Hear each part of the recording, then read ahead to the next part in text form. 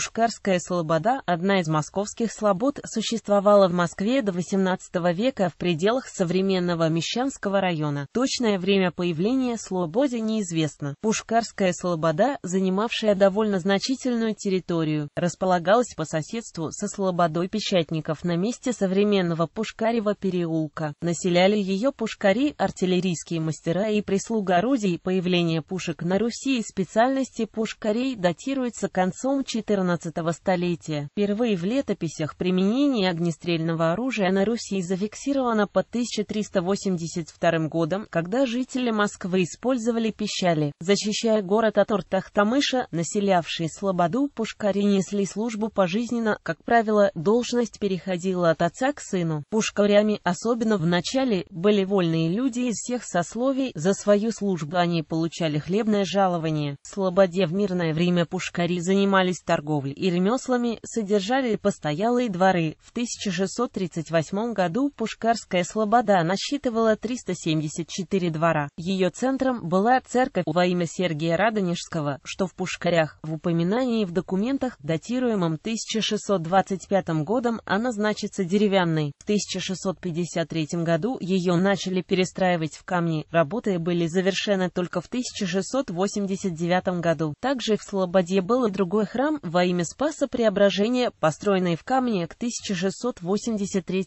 году. Артиллеристы продолжали жить здесь и в XVIII веке, пока Слобода не стала частью Москвы.